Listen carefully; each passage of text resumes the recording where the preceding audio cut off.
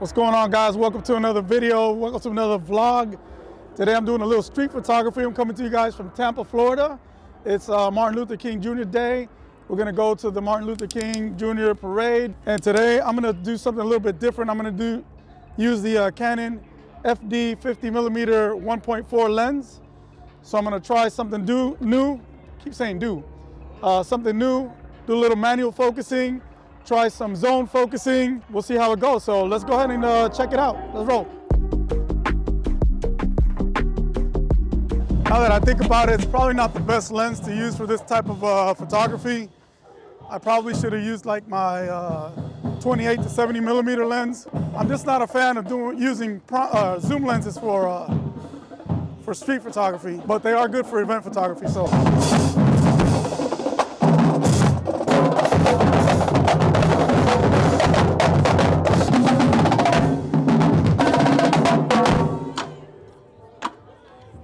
Right, behind me we have the Eastern Rangers Marching Band, all the way from Jamaica. Uh, my understanding is there's some other bands from other parts or other countries. So I'm gonna switch over to the GoPro, throw my GoPro on top of the uh, Sony a7 III, and let's do some photography. Take a couple of test shots.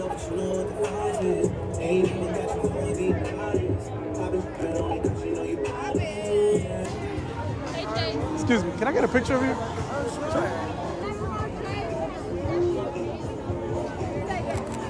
Thank you.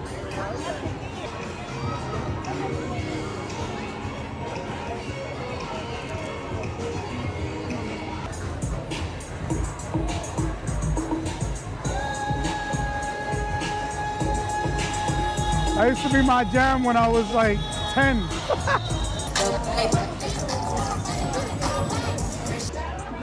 Ladies, can I get a picture of y'all? Yeah. Thank you. Appreciate it.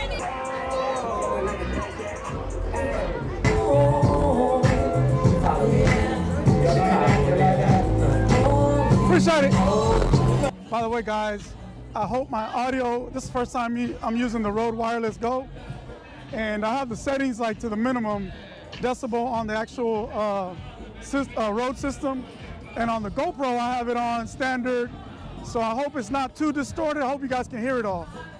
Uh, let's go check out the uh, Buffalo Soldiers down here. Let's go check them out.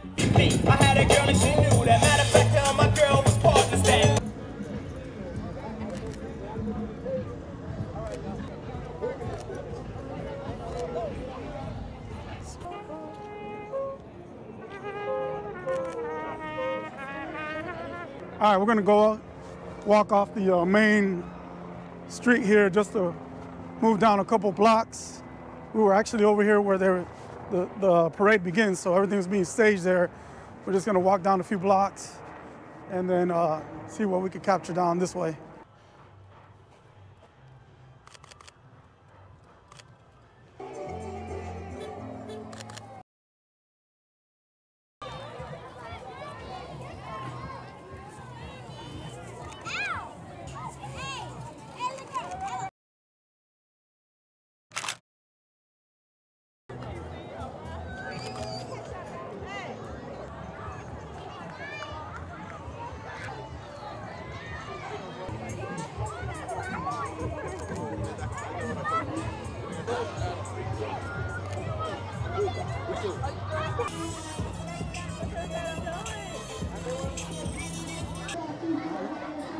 A picture of you? Get a picture? Appreciate you, man. Thank you. Uh, just reviewing my shots. Uh, a lot of them look really good. I like the, the sharpness. I can't really tell because I'm looking at the back of the screen on the, the camera, but I noticed I missed some focus on some of them. Obviously, I'm doing manual focus and you got to be quick. But so far, I think I like the shots that I'm capturing right now. So, shot right here. Games?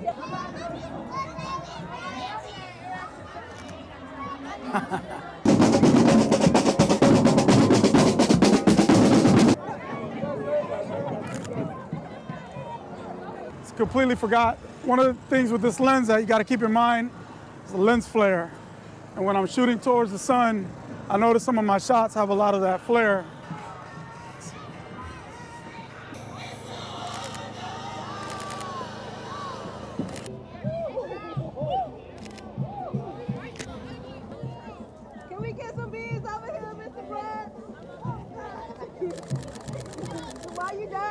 Former NFL Tampa Bay Buccaneer linebacker Derrick Brooks.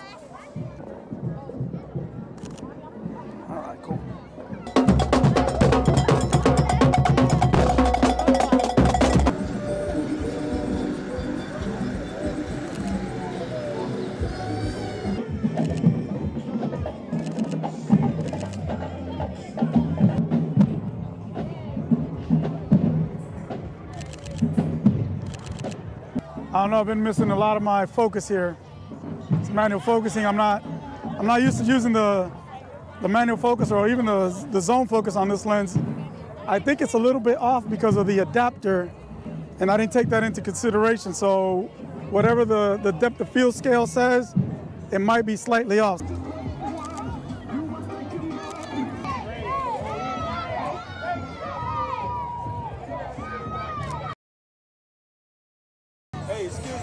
I remember you, you be doing a lot of vlogs for um, barbecue joints and all that. oh, yeah. I see your face. I remember I, you shaved them, but I, Yeah. I remember you shaved. and Yeah, man. Yeah. Man, he look familiar. Well, I'll drop some weight. yeah, I know. You look familiar. I, I picked it out. Appreciate it, How man. y'all doing? All right, man. Just, All right, just enjoying all the parade, man.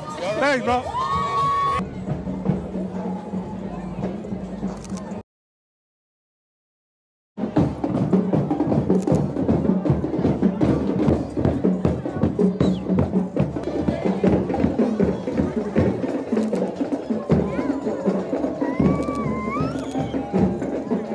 Can I take your picture?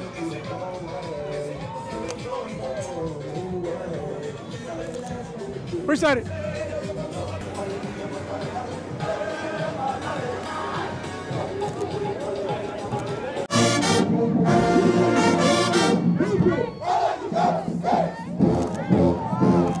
What?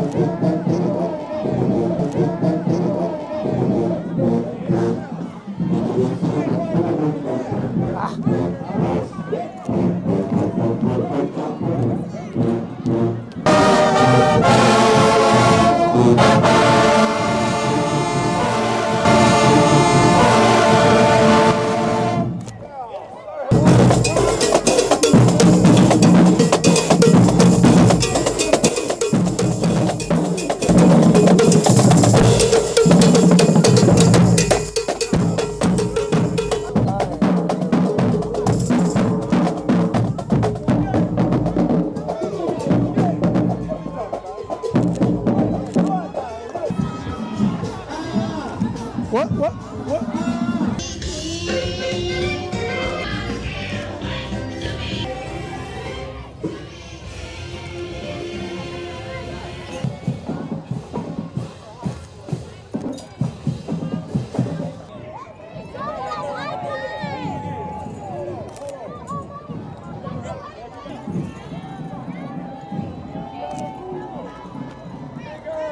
All right, we're making our way back to uh, the car. I think I got a couple of good shots there. Uh, a lot of interesting people out here to capture. Just not used to the whole manual focusing thing. I mean, I, I've done, I've used this lens with my Micro Four Third system before, and even with the Sony, but not like in in this type of environment where there's a lot of movement. You got to be ready, and you don't have a lot of time. So that was part of my little challenge today. Get myself out here to try something different and have some fun. So we're gonna walk back down, and if I see anything interesting, we're gonna we're gonna give it a go. But uh, otherwise, we're gonna check the uh, shots out back at the house and see uh, what they came like. So I'll check with you guys in a sec. Can I get a picture of you guys? Can I get a picture? Oh yeah. I'm like, what are you talking about? Ready? One. One more.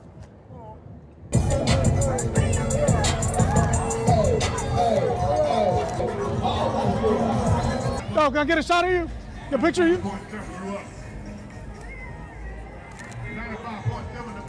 Appreciate you. All right, so I've had a chance to review the images and do some editing. I did some slight adjustments to these photos, not too much. But I gotta tell you guys, I made a bonehead move. I am so like, ugh, I just wanna just punch myself.